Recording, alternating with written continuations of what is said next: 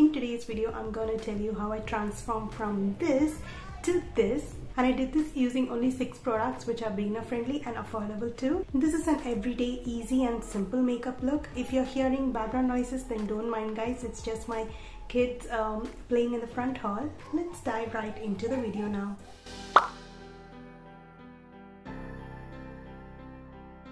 First step is to ensure that our face is ultra clean because we aren't going to use a lot of products. So I'm taking the micellar cleansing water and a cotton pad and wiping my face clean.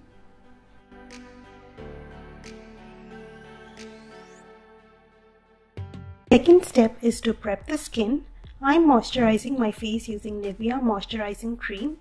I'm applying a generous amount and massaging well on my neck and my face.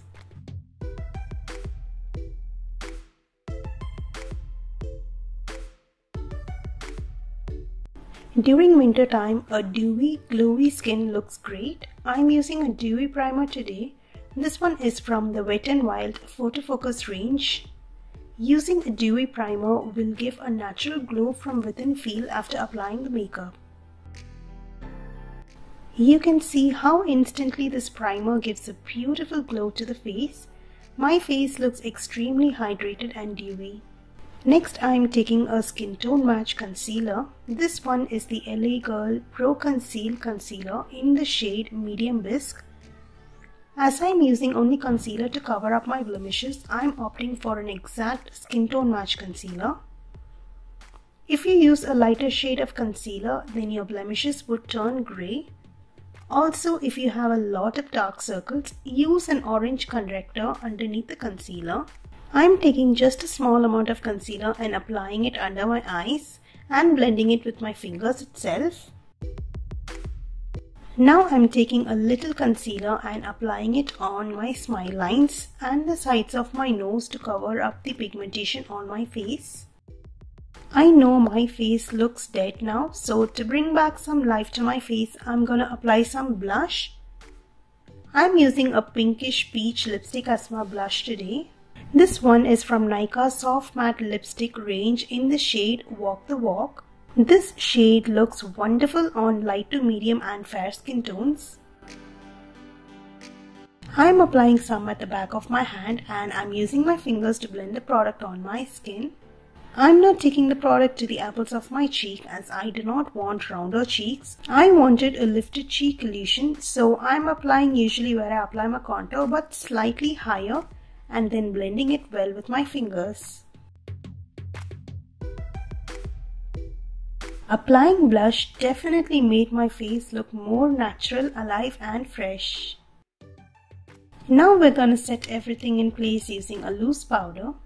I'm using the Maybelline loose powder in the shade medium slash deep. You can skip the step if your skin is extremely dry. Mine is combination skin so I'm setting my face for oily skin people, do not forget to set your face with a translucent or loose powder for long lasting makeup results. As you can see, this powder instantly mattified my skin and most of the extra glow is gone, leaving me with a wonderful natural glowing skin. I forgot to moisturize my lips so I'm applying a lip balm now. I'm giving some time for the lip balm to settle on my lips. Now moving on to my eyes, I'm using the all-time classic eyeliner from Lakme. This is one of the most affordable eyeliners and it lasts pretty decent amount of time too. I'm drawing a small wing because I never go out without my eyeliner. I love to enhance my eyes so I never ever ever skip on this part.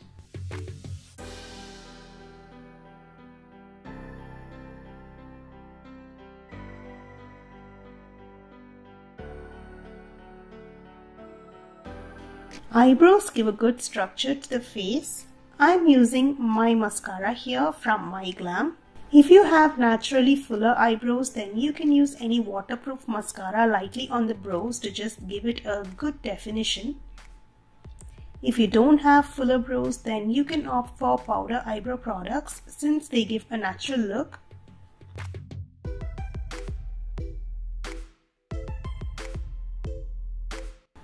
I'm using the same mascara on my eyelashes too and giving it a good two coats.